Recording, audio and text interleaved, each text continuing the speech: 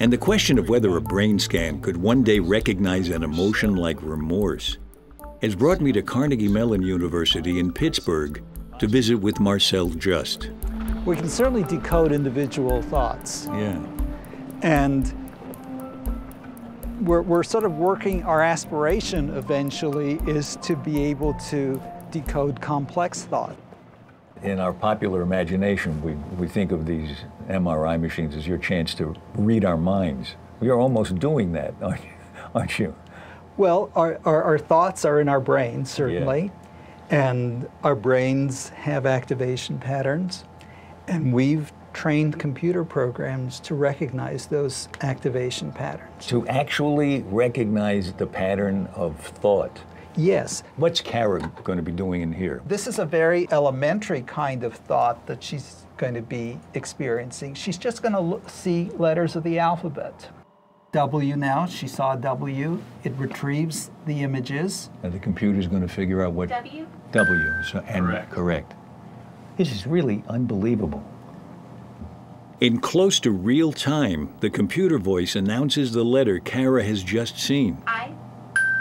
I? Correct. The computer reads the thing that happens in her brain when she sees the letter, and the computer says she's seeing an O or she's Correct. seeing a D. Exactly. Wow. Exactly.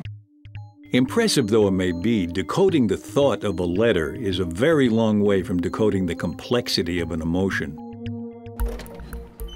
Which is why Alex Spieth is on her way to the MRI machine. But I think it's down this way. Uh, So what, are you a, you're an acting student here? Yes, I am. I'm a junior at the School of Drama.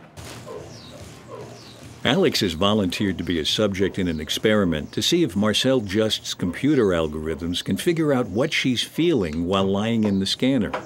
She's going to go through a process that she would, would go through on the stage to, to call up an emotion. And That's you're right. going to tell her what emotions are? Yes. On the screen, a word will come up yeah. like happy. Yeah. And then for three seconds, she's supposed to conjure up happiness.